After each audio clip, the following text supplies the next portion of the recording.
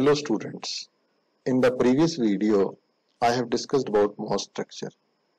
And MOS structure is very important for better understanding of MOSFET device. So now in this particular video, I will try to make the functioning of your MOSFET as simple as possible to get a fair idea about the working. So your MOS structure, your MOSFET somehow looks like this.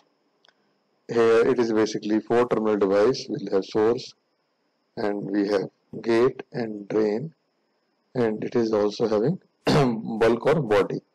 So this is basically n channel MOSFET in which uh, this is L is length of the channel this is W is width of the channel and these two parameters are very important as far as any working is being concerned or optimization of devices. So first what we are actually doing we will be looking forward for various aspects how your MOS works and how we can improve its working that is the next portion uh, we are going to cover in the near future. So now uh, we are looking forward that how you are having the symbolic representation for your MOS. When you look at this particular figure you will find out there are two categories for MOS transistors. One is enhancement type another is depletion type. In enhancement type there is no channel you can find out here that we have no channel inside your device. There is no channel. So what happens when we apply certain bias here on the gate? After applying certain potential positive potential what happens? Inversion occurs as discussed in the MOS system and channel is created. And now if you are applying anything across VDS drain and source then the conduction took place. So this is called enhancement type MOSFET. Now there is one more category that is called depletion type. In this what happens? Channel is already present. And when you apply certain potential on the gate the channel start depleting. And when a certain potential is applied at the gate what happens? The channel is completely depleted or channel is completely vanished. So now no further conduction is possible. Whatever amount of voltage you're applying on the drain and source in a limited manner. So this is called depletion type device. So the symbolic representation is like this. This is three terminal device drain gate and source. Now one more point of that uh, better thing is why drain is at the top and source is at the bottom. We know that in NMOS we are talking about N-type carriers or electrons. So source is basically providing the carriers. So in this particular system, source is providing electrons. So when source is providing electrons, it is more negative and drain is accepting electrons it is more positive. So that's why positive thing is always on the top and negative is on the bottom. So this is the reason we have drain at the top and source at the bottom. Now you can have uh, different things. Uh, this is a depletion channel is already created. This is symbol.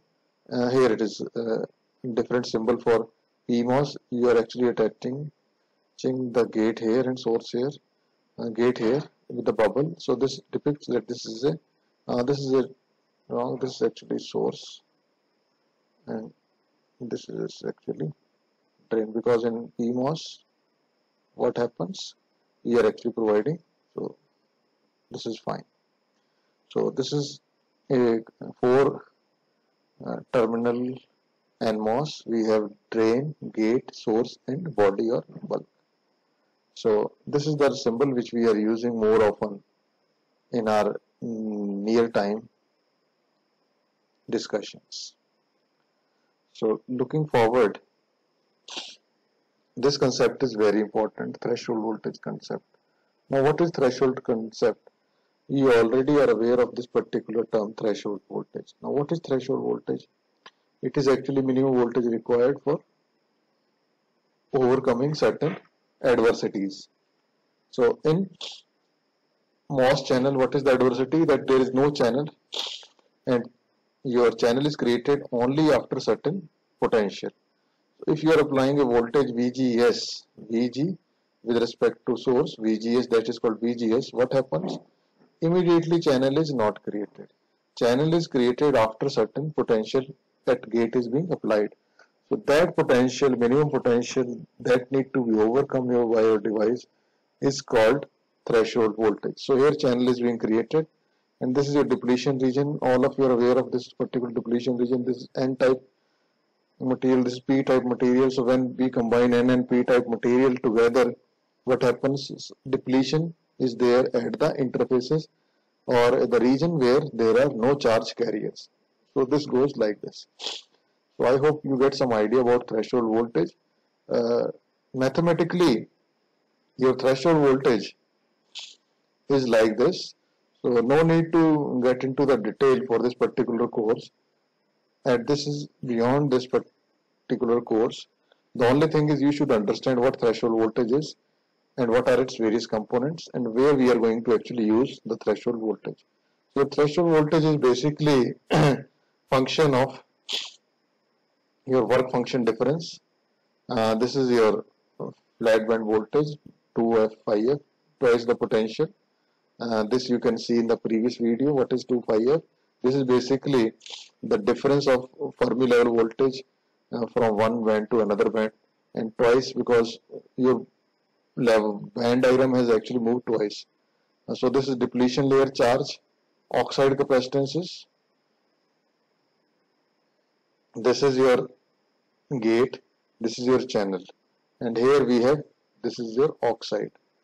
So whenever two terminals, two plates are separated by a dielectric then it constitutes a capacitance. So this is your oxide capacitance. This is surface charge, this is implant charge and charges are being separated.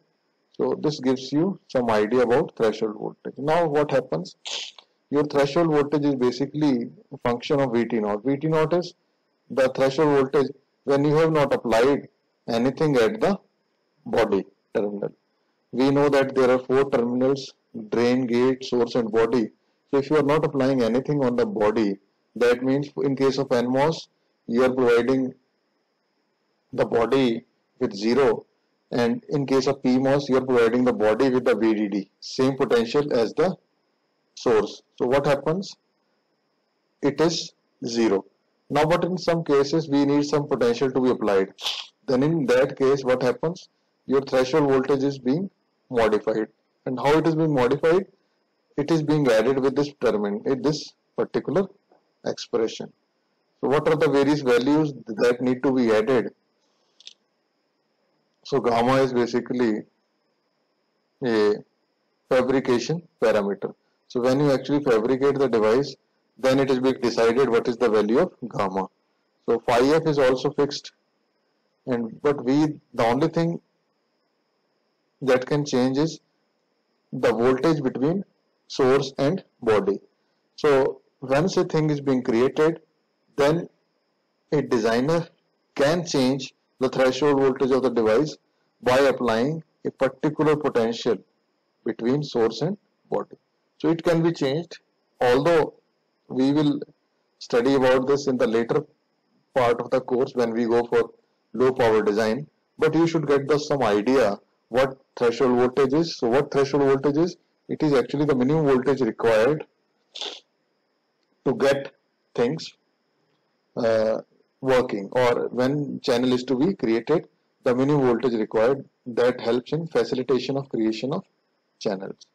So this is function of Vt is equal to Vt naught plus function of VSB. So this is basically function of VSB. So I hope you get some idea about threshold voltage. So now next is body effect. So what is body effect? When you're applying certain potential, VSB. So how your threshold is actually varying. So you are changing like this. So threshold voltage keeps on increasing. So why we want to increase threshold voltage? That we will discuss in the near future. So this is your uh, MOSFET and now we will be discussing about its operation. So you are already familiar with uh, this particular structure. This is length of the channel and we are having width of the channel W. So these two are parameters and you might have uh, studied about this as W by L and this is source, this is drain and this is your gate, this is your oxide. So namely, mainly sorry, this is SiO2 silicon oxide. But these days hafnium and other oxides are being used but that the thing of later discussions. Right now because we are discussing the simplest structure so this is SiO2 this is gate. So what happens how your device works that is the thing of concern right now so it does not happens immediately so many things are associated with this so in the next slide, I will be discussing about how working of structure happens. So next thing that is of concern is structure and operation of MOS transistor. So I have already discussed in previous videos that your MOS system behaves totally in a different manner and the physics is involved in understanding the working of your MOS transistor. So here you can see we are having a MOS structure with drain and source and oxide. Your gate to source potential with body is being given 0. So gate to source potential is less than 0. That means we are applying negative bias on the gate. Similarly, what happens here we are applying actually negative bias. So your drain potential is at zero. So overall VDS is equal to zero. So that means we are not applying any potential between drain and source. So the only electric field that is there that is due to negative potential being applied here. Now as already discussed that whenever we are having two different regions being joined together there is sort of depletion region. This is N and P, so N and P are combined together, so there is a depletion region here. Similarly, because we have applied certain bias here, there will be depletion region here. And this particular region is called depletion region. Now if you keep things more negative, what will happen? All the holes from the bulk and this region will align themselves here and does not have any facilitation towards conduction. So that means there will be no conduction when you are having negative potential and that need to be avoided. So the next is what we can see this is a assumption for better understanding of your system that is called GCA GC a. It means gradual channel approximation.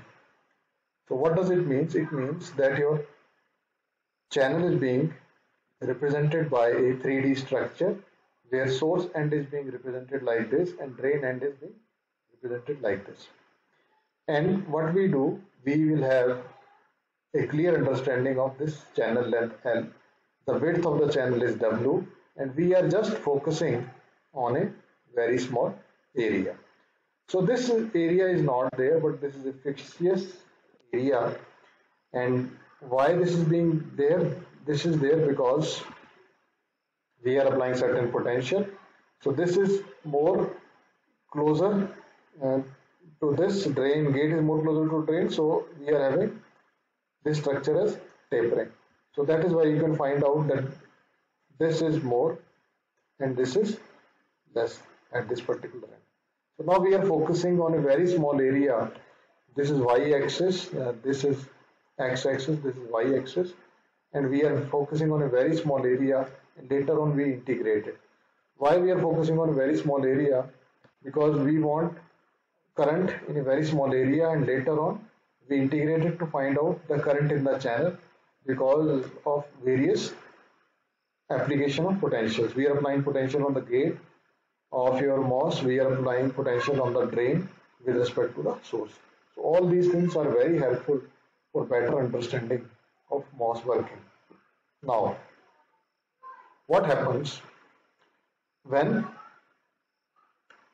you are actually applying a positive potential on the MOSFET and due to positive potential now positive potentials are having two things. One thing is the magnitude another is direction so magnitude is whether it is greater than your threshold voltage of this channel or not. And second thing is potential of your application of voltage. What potential of voltage you have applied on your device.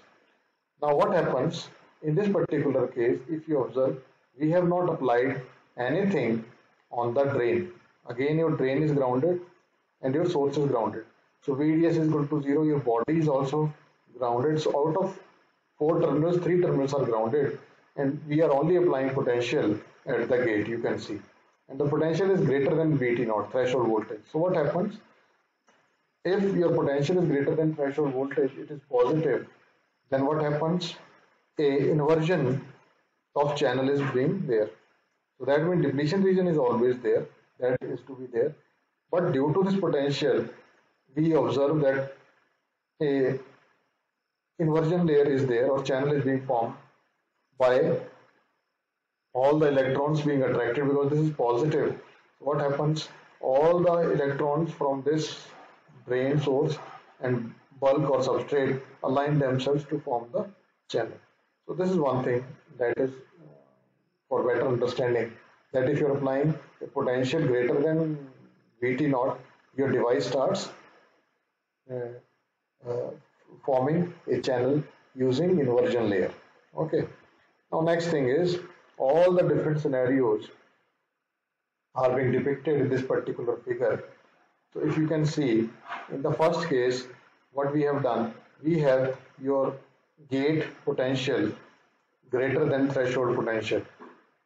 And here we have applied a very small potential on the drain and we have grounded the potential at the source. Now some of you might be observing that the width of this height of this channel here is more as compared to this. The reason for this is uh, gate is positive and this is positive. So they both of them will uh, leads to some sort of adjustments and because of that what happens tapering is there. Suppose you are having 5 volts here and you are applying 1 volt here. So out of 5 volts your threshold voltage will be minus and here you will get only 3 volts. But here on this side you have 0 volts. So out of 5 your threshold voltage is minus and our entire 4 volt will be there. And some voltage reduction is there on this side. So that is why tapering is there. More we move towards source your potential increases. The more we move towards drain your potential decreases. Now if you keep on increasing the voltage at the drain there is there are two points one point is voltage greater than VD saturation. That means the maximum output of the device. That is possible. I will cover out saturation thing later on in the coming slides. Right now the focus is on the operating principle and working of this. Now you are putting more voltage here, positive voltage here. So this is N, this is P. This is N, this is P. So what happens? We already know that in case of PN junction, when you increase the reverse bias, depletion width increases. So you here you can observe here depletion width is less, but here you are putting more potential here. What happens? Your depletion width is more. And also because this potential is more as compared to this, your channel is almost uh, restored to zero at this particular point. And if you keep on increasing your drain voltage below saturation volt, uh, above saturation voltage what happens your channel starts pinching off. Now the maximum current your device is giving is up to this particular voltage and after that your device saturates and it no longer gives you the same uh, current or does not have any increase in the current. Now there are certain reasons associated with this why your device saturates. Now I will give you some examples in this regard. Here you can find out two different electric fields are there. One is vertical electric field due to potential applied on this. Another is horizontal electric field because we are applying certain potential here. Now what happens? This electric field is constant but when you keep on increasing this potential, your electric field in the x-axis increases. Now there is one more term that is mobility of your carriers and its speed is 10 to power 7 meters per second. That means the maximum speed of the electrons is 10 to power 7 meter per second under the influence of electric field. Now you keep on increasing this potential. What happens? Your electric field increases. So your electric field is maximum here. Now what happens? Your velocity is also maximum. And if you increase further electric field, the device does not have capability to increase the velocity of electron. That particular term is called saturation velocity. So that is the reason why we have your current saturated at a particular value due to this. Another example for the better understanding of this is suppose you are having a highway and on which you are running vehicles. Suppose initially government allows vehicles to travel at 50 kilometers per hour. So what happens? They move at 50 kilometers per hour and number of vehicles will pass it depends upon the velocity of the vehicles.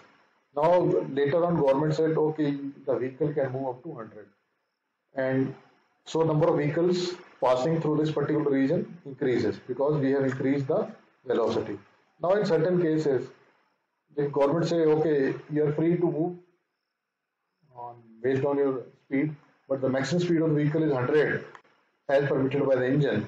What happens? There is no further increase in number of vehicles passing.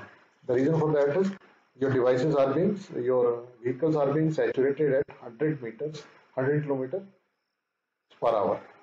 So if there we are talking about number of vehicles here we are talking about number of electrons. So your number of electrons is directly giving you the current because current is nothing but dq by dt number of charge carriers per unit time. So that is the thing about your MOS transistor how MOS transistor works. So it works under three different conditions. When your gate voltage is less than threshold voltage it does not conduct because no channel formation is there and when your gate voltage is greater than threshold voltage what happens? Your channel formation is there. But if you are not applied anything on drain it does not conduct. Now you start applying certain potential on the drain your device starts conducting. And if you keep on increasing the potential at drain what happens? Your channel width is channel is being pinched off. And if you keep on increasing your uh, drain voltage below this then your channel is being further pinched off so this at the point vd is good vd set is called pinch off point and at this particular moment your channel is being pinched off. After that there is no further increase in the current. So this is the description. This is your structure. Vgs is greater than vt naught. Uh, this is being channel being formed and this is enhancement type thing. Uh, this is your depletion region. This is vds you have applied so that device starts conducting. And i hope this is uh, the basic thing. I want to let you people the convey the working of MOSFET. In the coming lectures I will like to describe you uh, the exact working of MOSFET in three different regions so that you can get that used for the working of digital circuits that we are going to study.